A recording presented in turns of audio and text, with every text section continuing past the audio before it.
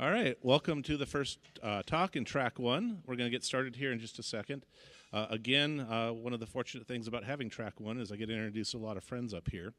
Uh, I've got Kyle Temkin and Dominic, and despite the fact that he's last name is abnormally short, he's no less of a man than I am. Dominic Spill is up here to present on Face Dancer 2, so please welcome them to the stage.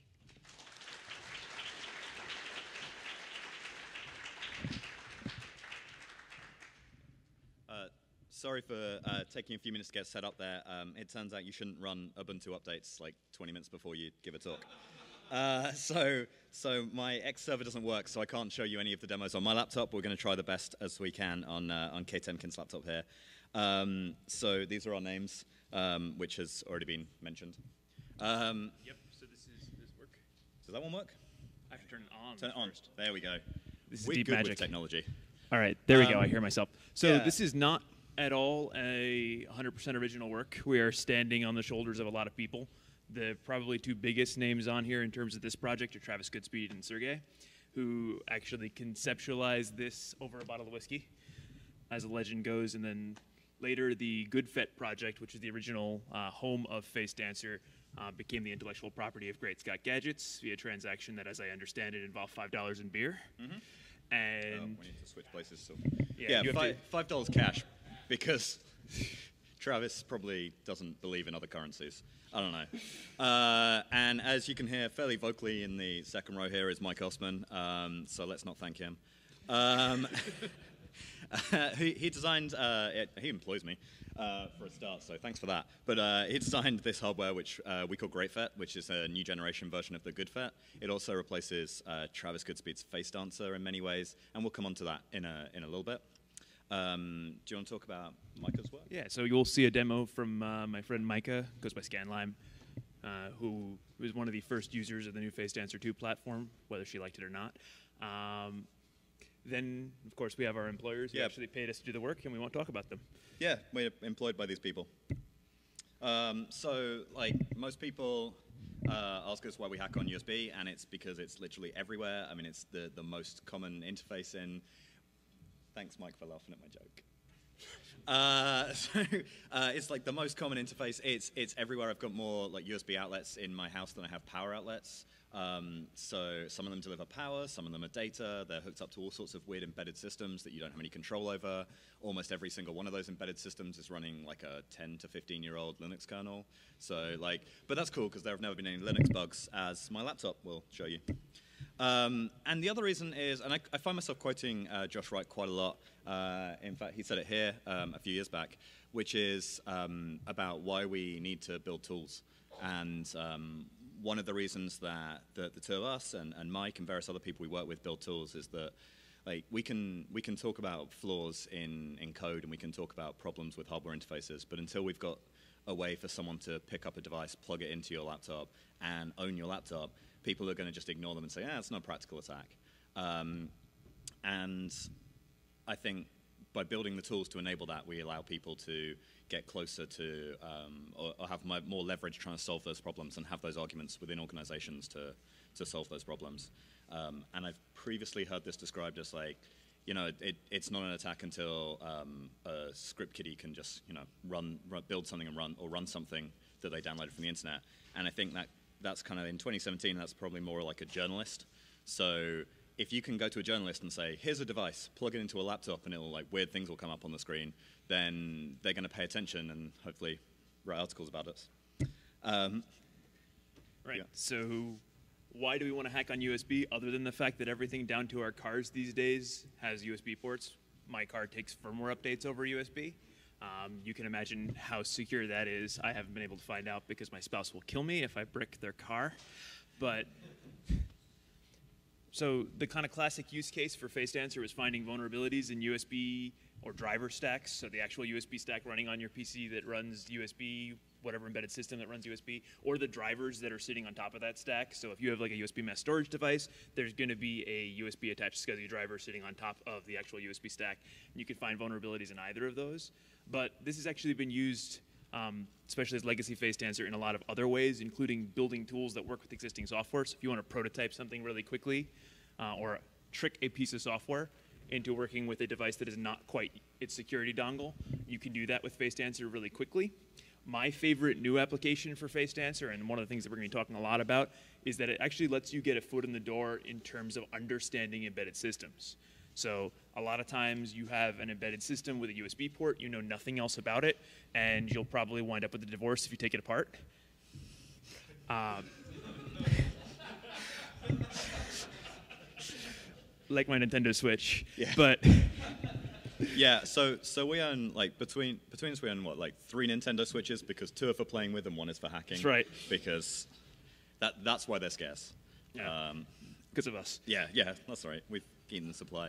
Uh, there's also a point on this on this slide about playing NSA and um, oh sorry, were you not finished with the previous? but I, I was going to say, like, it's just fun to play NSA, and like, who in the room doesn't love pretending they're the NSA? I mean, I, I guess, well, yeah, like people who people who already work for the NSA, sure, right? Yeah, everyone who already works for the NSA, raise your hand, and uh, not you, but everyone, no, worth a try. Um, and and one of the things I think you were saying about, uh, oh, I should stop stepping away from the microphone, um, about getting closer to analyzing black box systems is um, an interesting thing that we can do with this system that we can't do with with other devices necessarily is, is we can actually log a lot of inf- interesting information and kind of metrics about systems that we're talking to. So if we spoof a, a USB mass storage dongle, like if you can if you take a dongle and you go plug it into a computer and like maybe that system will read the files off there and maybe it'll automatically run your your malware if you're lucky or whatever. But but for us we can start doing things like profiling the system. So I can go up to a TV with, with um, our FaceDancer code, I can plug in as a USB mass storage system, and I can look at how it reads the file system that I'm pretending to present to it. And at that stage, we can start saying, well, okay, it reads this block like 50 times. It reads the, the first block of the file system 50 times repeatedly for no apparent reason. Must be a Windows system.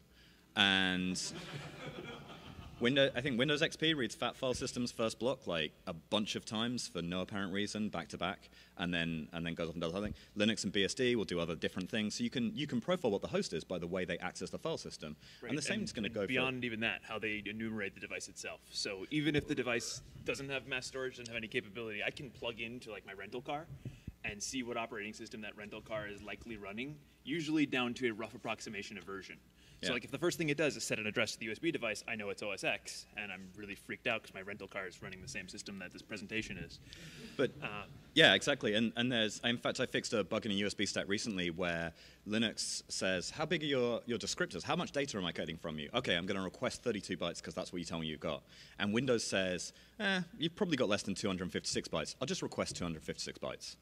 And you only the the device is supposed to only send it back 32 bytes because that's all it's got. And um, there was a bug whereby we were not telling it we were done sending data and things like that, and so the Windows system would be sat there waiting for more data. But from the device side, I can tell what kind of device is enumerating me by how many bytes it requests, like in the first transaction that it um, that it talks to me. right. So like two weeks ago when we bricked Mike's projector, we knew Oh. exactly how we bricked Mike's projector.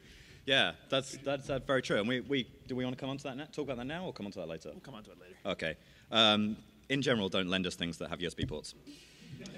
Uh, right. So, point of this slide, really, in terms of how USB works, we've done a bunch of studying of USB, and probably for this kind of application, we use about 1% of it, Yeah. something like that. So, the USB spec is hundreds of pages long as of the 3.0 revision. It was still hundreds of pages long as of 2.0. Um, there's a 36 page chapter called Chapter 9, which is almost everything you need to do USB hacking. And that is like really sparsely populated pages. Probably about 10 pages of reading if you want to be able to do basic USB hacking. Right. So isn't, isn't the Linux kernel header file for all the stuff you need called ch9? I think so. Like yeah, so so like they named their header file after like the two chapters you care about from the USB spec. So Right. go look at the header file names and just read those chapters. Done. right. So Uh, Chapter 9 describes so how a device. done, right? Yeah, right. Um, so okay, we're going to run through this relatively quickly because, um, Yeah, well, one we're running late, and two, it's it's USB, um, and hopefully you either know about it or are willing to go and read those two chapters because they explain it better than we do. But uh, largely, if you think back to the 90s, a, a simpler time, um, and well, in terms of computer interfaces a more complicated time. And you'll see here a delightful picture I managed to find of serial ports and parallel ports and PS2.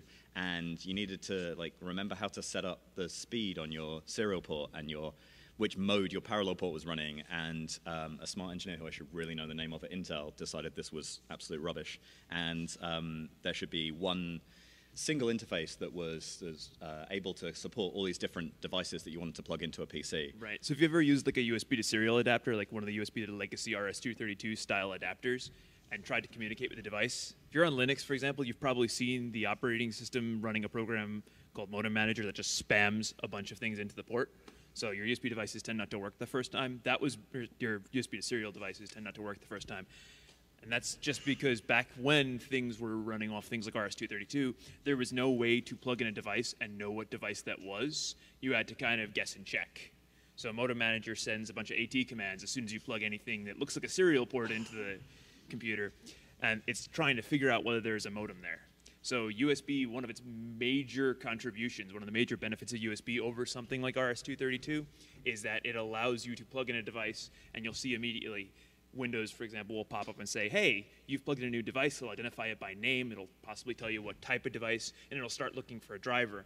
And that's all because, as part of the standardization and the effort to get this down to a single port, USB built in a lot of standard protocol onto the regular bus transactions that enable it to do that self-identification or enumeration process. Right. So, so the first thing the USB, in fact, this is not the slide I thought it was. No. Um, the first thing, the uh, the USB is just like it's just two wires. There's two wires for power and there's two wires for data in your in your standard USB Up to cable. 2.1. Yeah, yeah, So, a- a regular if, not if you ignore super speed. super speed, which we're ignoring, everything that you can hack right now is pretty much easily hackable on 2.0 with maybe a couple of exceptions. Right. Um, Right, and, and uh, almost anything that supports USB super speed supports regular USB as anyway. So like, Yep. let's let's attack that until we need to worry about the higher speed, and until someone designs hardware to attack it. Hint, Ossmann. uh, so, but basically, you've got these things called endpoints. L- largely, you've got two wires. It's logically split into different endpoints. I guess uh, you could conceptually think of them a little bit like like uh, different ports on a network connection, kind or of like, that. So like one of the goals of USB is to be able to have more than one tr- logical kind of transaction going over the bus at the same time. In order to do that, they basically say, I have two wires, but conceptually, I'm going to pretend like I have more like 16 channels that I can send data bidirectionally through. And that is just done by taking every transaction that goes over USB with an endpoint number. So while you have two physical wires, you can think of it as being able to send 16 disparate, up to 16 disparate communications at a time, and it will worry about sequencing them over the bus. This is another good example of why uh, it's so much easier to worry about things kind of from our level of abstraction, because the device doesn't have to worry about any of that. It's all the host's job to figure out how things go over the bus, and the device just kind of conceptually demultiplexes it for you. Right. And, the, and these um, endpoints are, are kind of tied together in groups as, of interfaces, and, and those. Um, oh no, it's still not the slide I think it is. It's okay. Uh, but they're tied together in like interfaces which have kind of potentially uh, like functions associated with them. So you can have a device that says, "Hey, I'm a keyboard. I'm also a mouse. I'm also a network connection. I'm also a mass storage device," and it just has more and more endpoints to support those. And largely, those are hardware limited by the the um, controller you're using. Um, and that's one of the reasons we like the chip that we're using on, on GreatFet is that it allows us to be quite flexible about the number of devices we appear as and the type of devices we appear as and things like that. Right. Um, so a, a common example would be if you have a camera. Usually those have a video device, an audio device, and something that's letting you, for example, press play pause. Or- that's or- communicated as a focus, keyboard. yeah. Right. And those kind of devices actually, even though they're conceptually one device, they have one function. They appear as multiple independent communication channels, actually with each with their own drivers. Those are just conceptually organized into a set of different endpoints. right. So there's four kinds of endpoints that USB supports. I- really, we will be talking about the first two. Yeah. I, also, we have 36 minutes left, Yep. so I don't think I don't know how much anyone cares about the four different types of endpoints. They make different guarantees about what, how fast you get data, latency, throughput, that sort of thing. Um, again, if, if in fact we mentioned going to look at the USB spec, but if you look at the bottom left of this screen, it says uh, this came from USB in a nutshell. Which, if you Google that, it's a website that basically preces the chapters you need to know from the USB spec and adds nice diagrams. And honestly, that's the only resource. I've never read the USB spec. That's the resource I've used to read to implement USB devices and things. So any any tweaks I've ever made to like HackRF or RFCat or Ubertooth or any of their USB stacks have come from that website, not from the USB spec, because it just explains it really, really nicely at a level that you need to care about. Um, so, so that's worth looking at. Uh, the, uh, in addition to the um, three kind of high, high speed endpoints listed here, there's control endpoints. They go in both directions, and that's kind of how you configure devices. It's how the system, they always exist, and the system requests um, descriptors about what the device is from there. So when you type LSUSB on your laptop, that information has been received by the kernel using control endpoints and control requests, and they allow you to send data out to the device to configure it, to tell it, you know, tune to this frequency, um, or, or, receive data from the device, like, oh, what frequency you tune to. But when we want to stream high data rate data on, on a, say, our SDR platform, HackRF, you can um, you use bulk endpoints to get the higher throughput.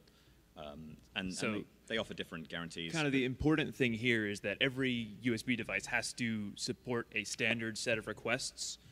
These control requests are used for enumeration. They're used for things like, and when you plug in the device, the first thing it'll do is say, "Hey, what kind of device are you? Tell me a description of yourself. Send me a device descriptor." And that device descriptor will say, "Here's my vendor ID. Here's my product ID. Here's everything you would theoretically need to load a driver for me."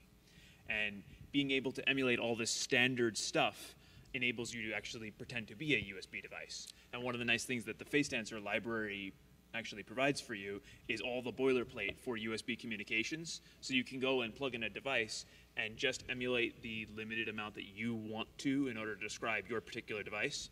It handles all the boilerplate, handles all the handles all the standard transactions. So the FaceDancer takes a lot of this burden away from you. So if you want to hack something using FaceDancer, theoretically, you don't even have to know how this kind of stuff works. Yeah, this is all abstracted away from you. We're just telling you now so you know that we did it for you. Uh, this is the slide I've been waiting for. Right, enumeration. When you plug in a device, the port on your laptop or, or other system says, oh, there's a device here, tells the kernel, and the kernel says, okay, I'm going to send a control request. Tell me what kind of device you are. At which point, the device sends back some bytes obviously with FaceDancer, we get to pick what those bytes are. Um, when you plug in a mass storage device, they, it has it all hard-coded in there. It's all uh, stored in, in some kind of storage, long-term storage on the device. Um, and those generally, uh, as, as, you just said, are used to determine which driver to load. And there are a couple of different ways that happens. Um, so every device, every device is supposed to have a vendor ID and a product ID. And the vendor ID says, I was made by this company and the product ID says, I am this specific product. And sometimes these are important because, for example, if you want to plug in, um, I'm failing to think of a single USB device now. Um, if you want to plug in uh, one of those FTDI USB to serial cables, the driver wants to know that it's FTDI and will go and load the FTDI driver into the kernel and, and give it the device. And then that, that kernel module will say, oh, I know this product ID. This thing has these different modes. It operates at this rate. I can control this. And that's one way to do it, but not everyone has the ability to get code for their device into the kernel on, especially not on a wide array of operating systems. And so sometimes those things are um, made out to be kind of standard classes. Right. So when a device describes itself, it can do one of two things. It can say, I am this vendor ID and product ID, and this is exactly the driver you need to load for me. Or it can just say, hey, I'm a keyboard the USB spec, in addition to defining the actual communications protocol, also defines a bunch of standard class drivers that can be used to say, if you're a keyboard, talk in a standard way, really increasing the amount of machines you're likely to work with. That's why anyone can produce a keyboard. They don't have to go and work and get a driver into the Linux kernel and the Windows kernel. Right. You could just plug in your keyboard or your flash drive or your printer and you know, depending on, you know, if you're assuming you have like a regular HP that was supported back when then, it'll just work out of the box.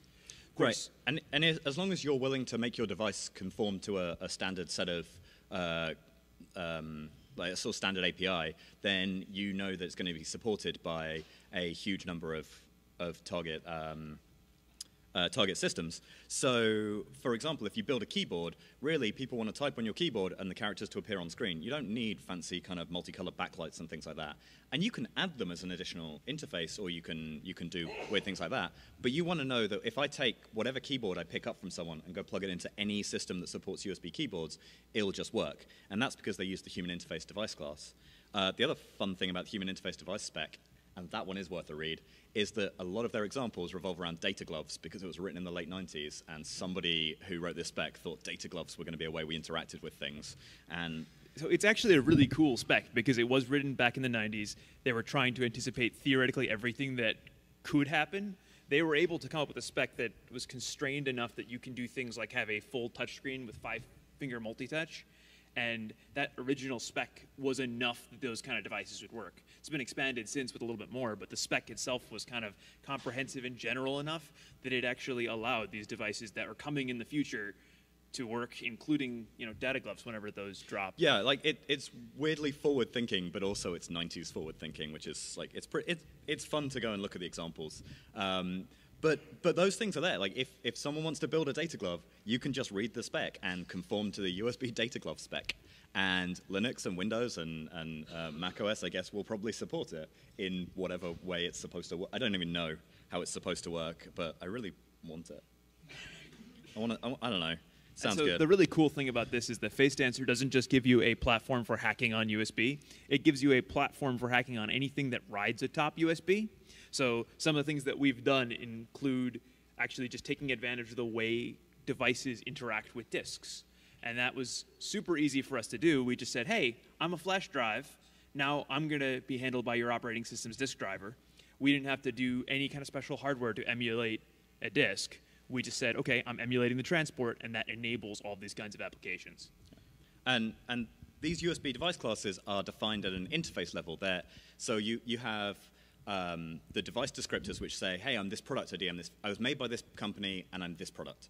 And then you have interfaces, and you can, like I was mentioning earlier, you have multiple, you can have multiple interfaces. So a device, single device can say, I'm a network device, I'm a audio video, I'm also a data glove.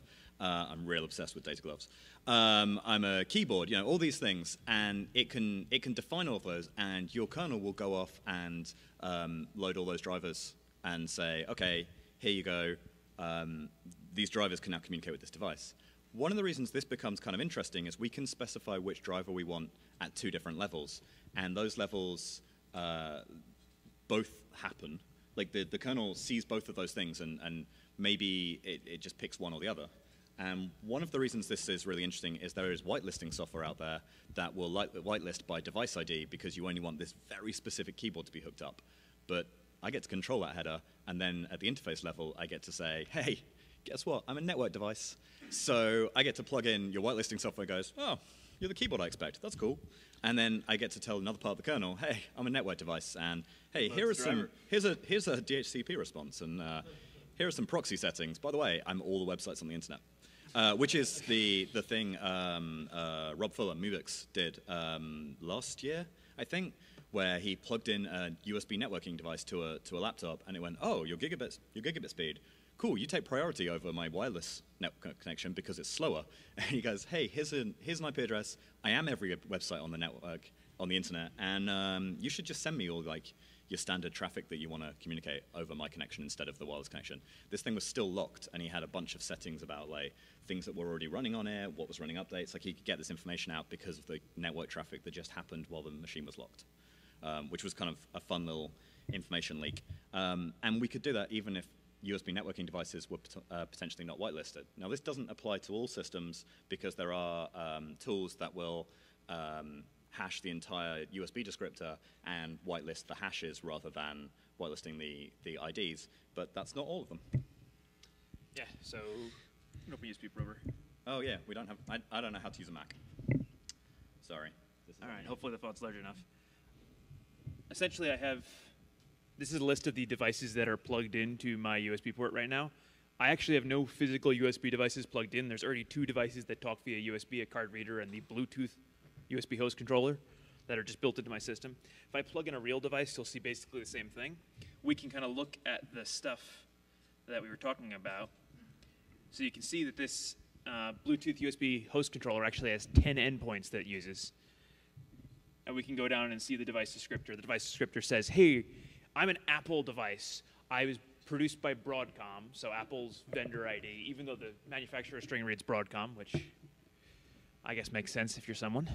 Um, there's the product string. These are all data that's communicated via the enumeration process, including a descriptor that describes how everything winds up being communicated with. And you can see that Bluetooth device actually provides two HID interfaces that say, yeah, I'm accessible at boot. It provides five wireless controllers. We've got some vendor specific devices that require a specific driver. All this enumeration is ca- encapsulated in those standard packets. So without me even having to have a driver, my system is capable of knowing how this device looks, how it communicates, who made it, either Apple or Broadcom, depending on who you believe. And um, it's not super yet, relevant yet. you will in a minute. I will in a minute. Make it, lo- make it larger if you're going to talk about it. Yeah. Yeah. So we'll go into GVIM in a second, and then I'll we'll actually show this off in the face dancer context. Very good. All right. All right. So before we get into the actual specifics and nitty gritties of the demos, um, let's talk about what we've done. So so far we've talked a lot about USB, kind of the interesting things about USB, um, some of the background. We're going to get more into USB as we talk about what we've done and kind of the interesting trust problems with USB. But kind of the history of Face Dancer, again, started like all kind of Travis projects over a bottle of whiskey. Yeah, I mean, it, it started like all Travis projects as an idea, idea Sergey had, and then he outsourced it. Um, so it's not a bus; it's a network. And so Travis goes, "I'll build a thing," and then at like three o'clock the next morning, wow, you're there. We go. Face Dancer exists, And this is- and yeah, this, this is, is this is a Travis Goodspeed's GoodFet with a USB device chip on it. Um, that's if I got a cursor. Yeah. So, wow, that's that's not. You, you describe it, and I'll point. Sure. So Travis already had his GoodFet at this point. Did the absolute that's entire left. If you've seen a good fet, that is literally the good fet design to the left hand of the board. The one chip on the right there, Dominic's pointing at now, is the USB controller that was added. So this thing is actually a really quick, pretty neat USB attack device, um, USB fuzzing device that was built using all technology Travis already had in not that long. And it actually, Right. as soon as he started using it, he started finding all kinds of things about his systems. Like, for example, in trying to get this to work, he repeatedly crashed his Windows and Linux machines. And That sounds familiar. yeah. And you know, fast forward, it's been what five years, six years, something like that. And now we're at the point where usually when we plug in face dancer things, things don't crash. I usually. mean, now we're at the point where we can reliably crash a Linux machine. yeah, but, we have to we have to work a little bit harder to crash things now. And Yeah. that's in part thanks to the legacy of this face dancer device because before that it was one of those attacks that was oh it's a physical attack. Someone needs access to your machine. Why do we even care about that? Until someone built a proof of concept and then via what we're calling Wright's law people actually said okay maybe I should care about that. Maybe the fact that you can write over arbitrary kernel memory just by pretending to be whatever USB device you want is not a good thing. Kernel memory is not important. yeah that's right. It's the least important memory in your system right? Right.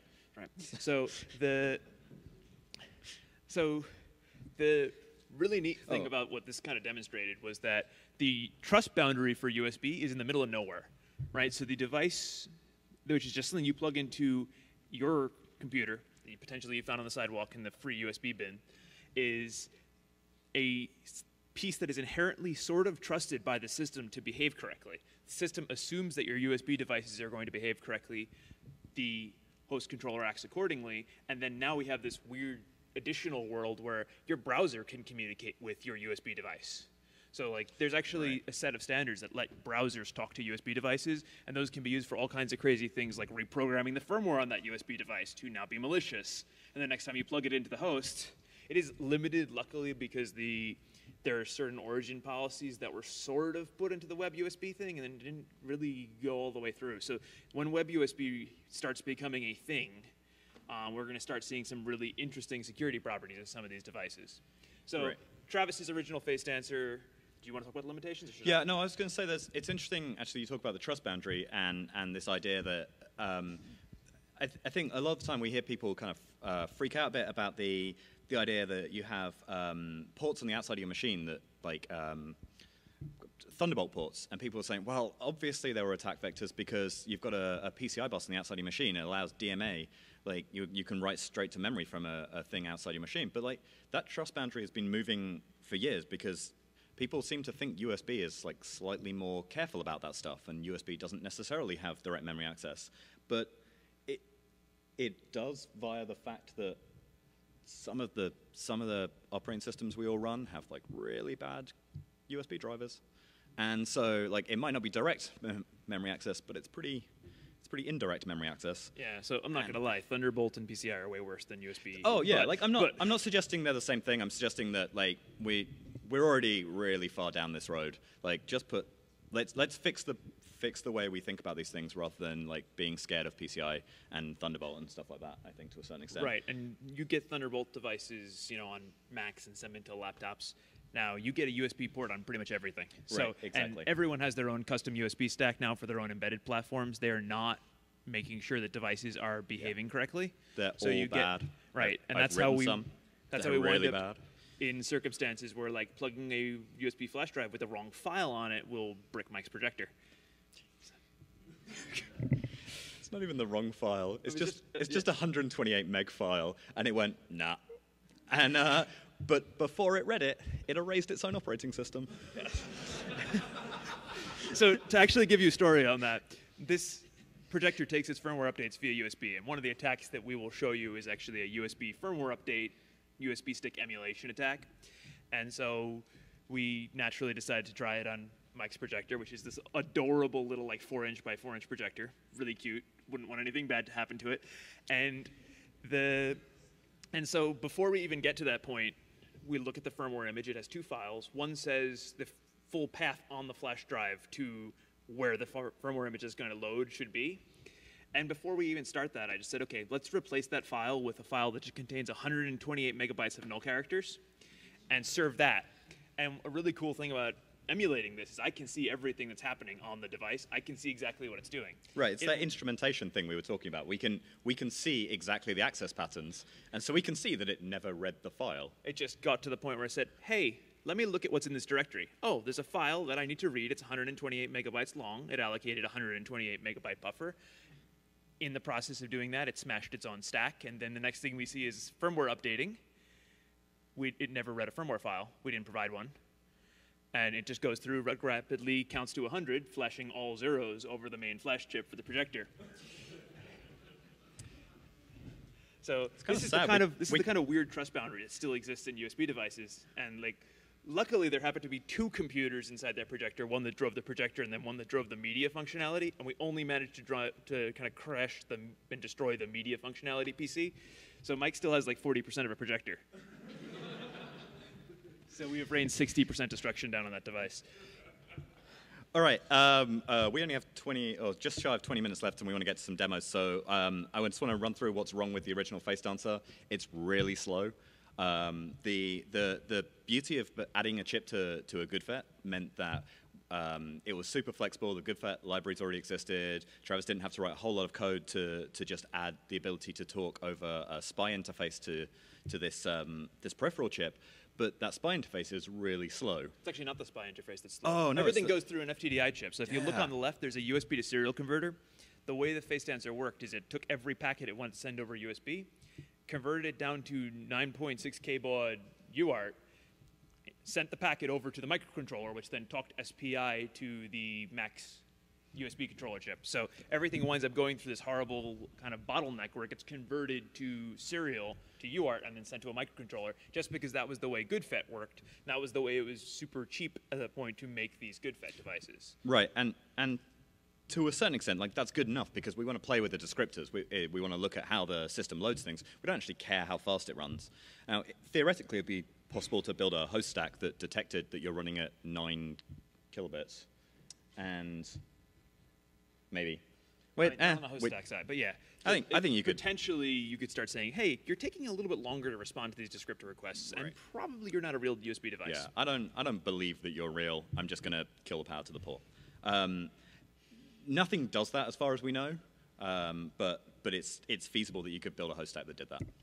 So the much more significant limitation, um, besides the fact that the original uh, good fet based phase dancer was really slow was that the chip that they used, the USB controller, had certain fixed function endpoints. So certain endpoints can only be bulk ins or bulk outs.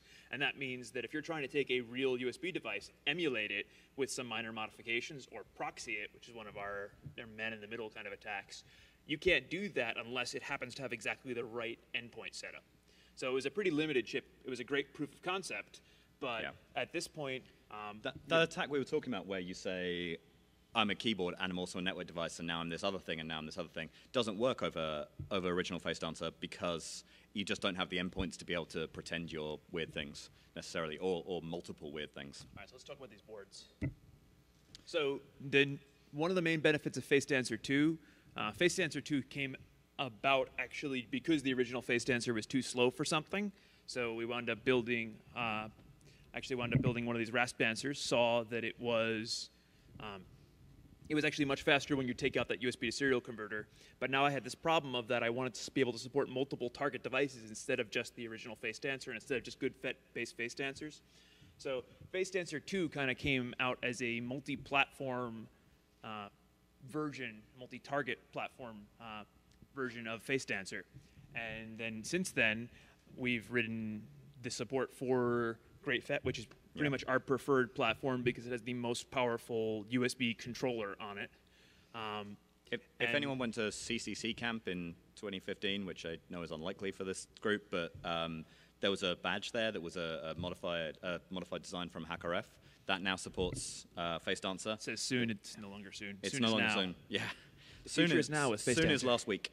Um, and potentially in the future, we're going to uh, possibly be able to support uh, devices um, like single board computers that already have a USB um, device interface. So, like the BeagleBones, the um, smaller Raspberry Pis, some of those things. There's um, Olimex, uh, not Olimex, uh, Odroid makes some and things like that. And that's what my old USB proxy code worked on. But you had to kind of SSH into the thing and and run like your script in a, in a little terminal. And one of the things we like about the Face Dancer 2 code right now is that I can use my laptop to do mean things to this laptop, and um, it's all running in like host code Python.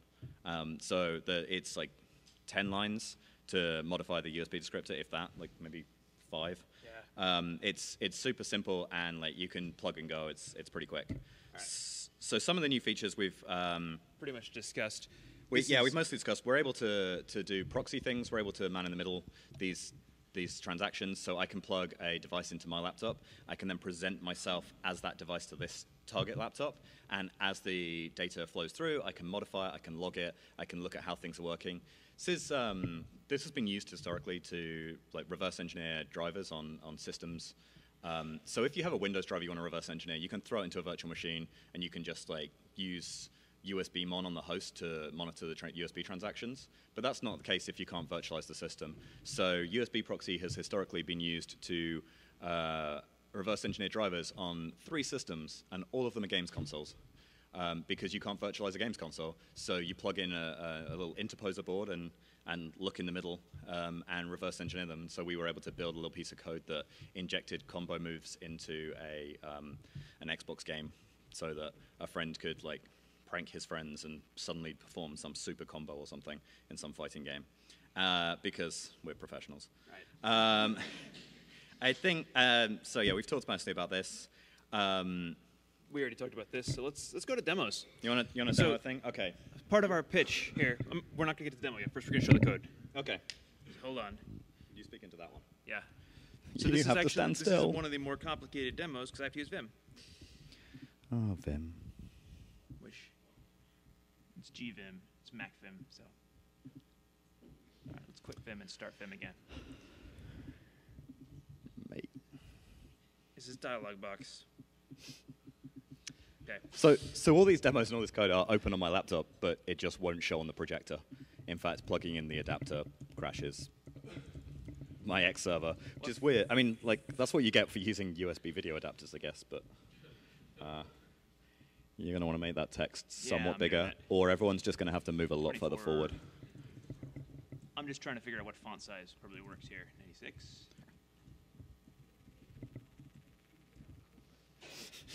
All right. If I knew how to use my own text editor, this would probably go faster. Should I be saying anything now to distract people from the fact that you can't I use can the text hit, editor? no, I can hit Control Plus. Apparently that works. Okay. Awesome.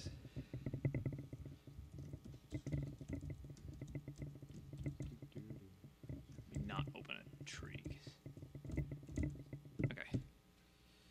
So I have to actually open the USB serial device Yep. and not the thing that instantiates it. So this code is the entirety of an emulator that emulates USB serial converters, which is cool because one, it's super simple, so it makes a really good demo. The USB to serial device that we're using is actually called Simple Serial. All that it does is communicate over two endpoints. So it needs to enumerate itself, say who it is, and basically take data in, spit data out. So if you look at this file, there's a minimum amount of boilerplate here that basically says, hey, this is how a USB device should look. There's two endpoints. One is in, one is out. We have the actual USB interface that describes those endpoint, encapsulates those. This is all the USB standard required stuff. And then we have this hand, handle data available function. This is the actually from line 79 to line 89. In those 10 lines is the entirety of the emulation. This code was, I think, originally written by Travis. And if you look at the way this has been written, most of this is just passing data from one variable to another. So really, the actual emulation code itself is two lines. We have a replace and an upper, and then we have send on endpoint. So this So, so all this does as a device is you send it uh, characters, and it sends them back to you as uppercase characters. Um, so it's like uppercase as a service. Um, but it turns out like this is enough. This is enough code just to get uh, a kernel, uh, to get the Linux kernel to load a driver called the USB Simple Serial driver. And Simple Serial is kind of cool. Um, there's a small handful of those USB IDs that are assigned to being this very simple serial protocol. Uh, one of them is HP calculators. Um, so if you pretend to be an HP calculator and, and talk to the Linux system, it will pop up as a USB serial device um, within the system, and it will start sending you AT commands, right? Because it thinks you're a modem. Yep. Or, yeah, it'll still think you're a modem, right? Because it sees a serial device. I yeah, can't so remember you're now. running Modem Manager. It will actually start trying to talk to your emulated device as And so, so and like, there's no like, this will happen if the laptop's locked, and you just plug in, and you go, yeah, I'm a modem. Why not? Um, and so, like, and, and all you have to do is just fill out this this function in Python and say, how do you want to respond to things? How do you want to respond to AT commands? How do you want to talk to the the host system? Um, and do you want to plug this in? And I will do things to your laptop. sure. I Because s- we have- no one ever. We have less than Yeah. ten minutes left, so let's uh, get Let's on to some other, other demos. Okay. Are you Uh, running that? Yeah, what am I running? Ch- ch- Yeah. No. Wow. I have the host stand, so I'll run FaceTizer. Let's um let's switch this around because I honestly thought it was plugged in the other way around. So top tip: plug in the USB cable the right way around. Wow. Okay. We practiced this talk. I swear. All right. All right. So the main thing you're going to see here is that suddenly I've got a new device. Um, let me save the output so we can see this. It crashed on my machine. It's okay. All right. Your machine is really not. My machine hates USB. So um, if you go back and look through the Great, either the Great Fate or the Face Dancer repository, you'll see a commit uh, from early August where I was sat in a field in the Netherlands, like hacking away at this at the Shah Hacker Camp. And there's just a commit that says something along the lines of, "Hey, this re- reliably crashes my uh, Linux host stack. Investigate." And pushed it to GitHub just in case anyone wants to investigate that. So go nuts. But uh, So- yeah, it will reliably like just kill my laptop, so my laptop no longer right. like you have to hard let's let's continue Reset. this.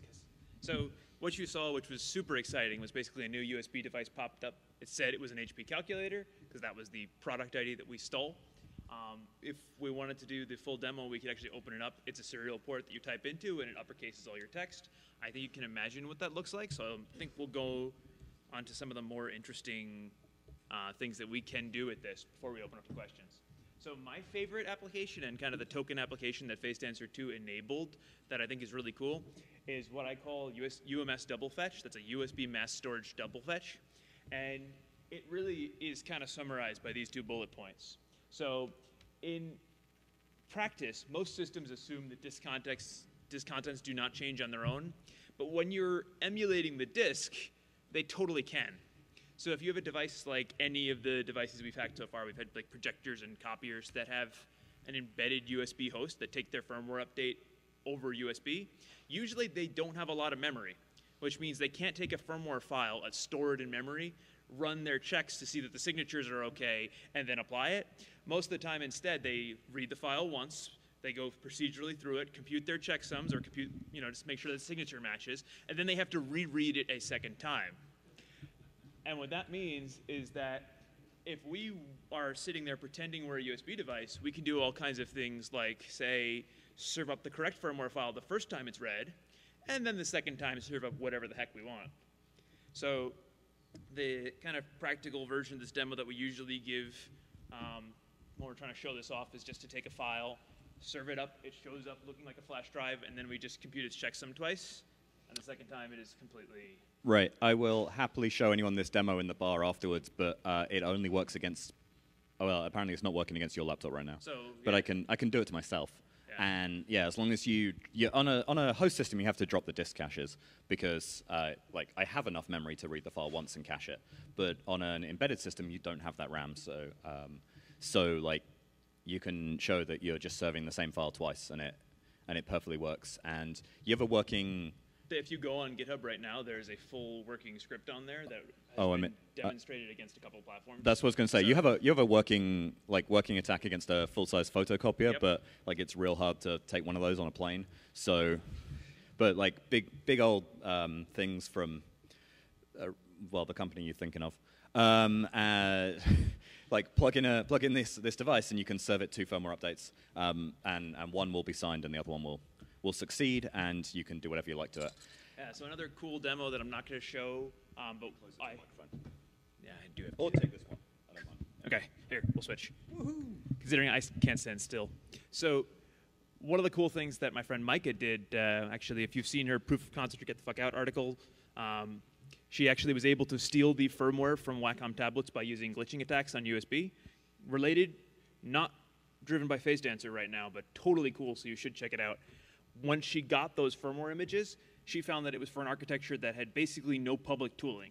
The one thing she was able to find was a debugger that would that had a disassembler built in. So she had all the program there that would do disassembly of these devices, but she would have had to patch the binary if she wanted to start feeding these things in. Instead, what she did was actually take Face Dancer um, and actually take Great Fit by itself before Face Dancer and modify it so that it said, "Hey, I'm a debug dongle. This is what I suspect you're doing. This is what I suspect a real debug dongle will be doing. Here's the firmware image I have. This is the current contents of the device memory. Would you disassemble it for me? And by doing that, she was able to actually get a program readout of everything she had stolen from those Wacom tablets, even though she had no vendor supported tools. She didn't have the debug dongle itself, which was unobtainium. And it, by doing this, she was able to actually go and complete that proof of concept get the fuck out article where she was able to take that Wacom tablet and use it as an RFID reader, which was super cool. Yep. So All right, USB proxy. I wrote, uh, I and some other people wrote a tool called USB proxy a couple of years ago. Ran on uh, Big One Blacks or like little embedded, uh, other embedded boards. Um, this is now running over anything that supports FaceDancer 2. Um, and it's gone from being a couple of thousand lines of C++ to being like a couple of hundred lines of Python, which is honestly the pro move. Um, and it does things like uh, log those packets as we're in the middle. It modifies them. It'll allow us to modify the descriptors. It allows us to inject packets. It doesn't currently work injecting packets, but it will do in the future. Um, it the idea is like I have a USB device and I want to explore how it handles me screwing around with things. Uh, spoiler: it doesn't. Um, do you want to try doing the thing? You want me to try doing a, a, Yeah, we can an- do that. a quick proxy? no, 'Cause you want to two plug? You want to plug in HackerF? I have a Onto HackerF plugged on, in. I'm the host. Oh, I was going to plug it in here and just spoof it to you. Um, I think the the output is all right. Sure. Whatever. Let's see if I can figure out how to up the size on these. Yes. Close this terminal. That should be working. Is this big enough? Yeah. Oh, I didn't change the string. Okay. So I haven't run HackerF, but let's go for info. Ah. Yeah. Uh, run. All right. run HackerF info. So um, what you can see here is HackerF info tells you about the uh, um, what the HackerF is attached to. Wow, that was smooth. Yeah. Uh, you can. It tells you which which. I'm going to push up screen so people at the back can see it. Uh, it just shows you which uh, HackerF is attached to your system. It tells you some information. It gives you the firmware version, which in this case I have modified in like three lines of Python on my host system to say, hey, hey, you, yes, you, talk on attendee. Um, which honestly I thought was really funny when I wrote it last night. Yeah, but you had had a couple of drinks, so Mate, yeah, you did say that at the time. You said that like, won't be as funny funny tomorrow, tomorrow." morning. Turns out it's not. Um, So what's actually happening here? I don't have a, a HackerF plugged into my machine at all. I have there's a HackerF here plugged into Dominic's machine, which is the man in the middle target, and then in between us, linking our machines, is this great fat. So right now, when I run HackerF info, it's proxying all of those commands down to the HackerF. One of those commands is, "Hey, give me a string that describes your firmware." When it does that, it's receiving the actual string that says, hey, I'm the firmware that's been built from Git. And it's taking that string, replacing it with uh, Dominic's uh, biting wit, and then displaying it on the screen. So we've actually been able to both proxy packets back and forth and modify them on the fly, which is really cool. So we could do this with, with any packets. We could change the device ID. So we could take a keyboard that's not whitelisted by your device and we could by your host, and we could change it so it is whitelisted by your. Uh, so it's one that's whitelisted. By, this thing's now flashing at me because we've gone over time. Wait, I can just reset it. There we go. Yeah, We got- we got- 50 minutes. Hope you didn't have lunch plans. Hacks. Uh, so um, I don't know how to use a Mac, so I don't know how to go back to the slide deck. but I Just think we might. your, swipe your fingers. Oh, now I understand why people like these things. that is nice. Okay, um, so so like eh, we could do that. Obviously, like it turns out HackerF is open source, so you could modify those things yourself. Um, but we could do this uh, to attack systems that we don't have control over, um, like any of these embedded systems. Oh, point of sale is a good one. There are a bunch of point of sale systems that have USB ports in them to have printers come out of them, and somewhere in the world there's a regulatory requirement to log that information. And I get an email about once every two weeks saying, "Hey, have you built something for us yet?" Um, like we want to log what's being printed, and uh, there was a bug in original USB proxy that went haywire and crashed those systems, which I will happily tell people about later. Um, so we've done a man in the middle attack. All right, future work. Um, we need to we need we want to support anything that has a USB device port. I mean, obviously by GreatFit, but um, uh, we, anything that has a, a USB device port would be nice to support. So, like your phone being able to support Face Dancer, your um, your, printer. You say, you say anything, but anything based off the Linux device class. So we're not that. I mean, we want to, but Yeah, um, we're not necessarily going to do it, but we want to. Um, but like, I, I've got a printer that's got a host and a device port. It'll talk to my PC, but it'll also talk to my digital camera. So like, supports host and device and probably runs Linux. I could probably make it. I mean, I don't know how I'm going to use a giant printer as an attack vector, but like, it'd be fun.